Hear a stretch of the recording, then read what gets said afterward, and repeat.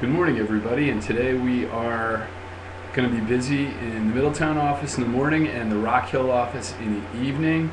Today is Thursday, October 22nd, and if you have a need to get some treatment for depression, anxiety, if your child needs treatment for anxiety, Asperger's, ADHD, ADD, give us a call at 342 5789 in Middletown. Newburgh or Rock Hill, and we'd be happy to help you out. Uh, we've been practicing since 1998. There's a group of licensed clinical social workers, licensed master's social workers, uh, mental health counselors, and we're here for you. Okay, we take your insurance, we take just about everything except for HIP, no HIP.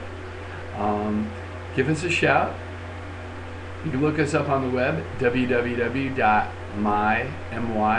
roosa, R-O-O-S-A.org, and you can find out more there. Have a good day.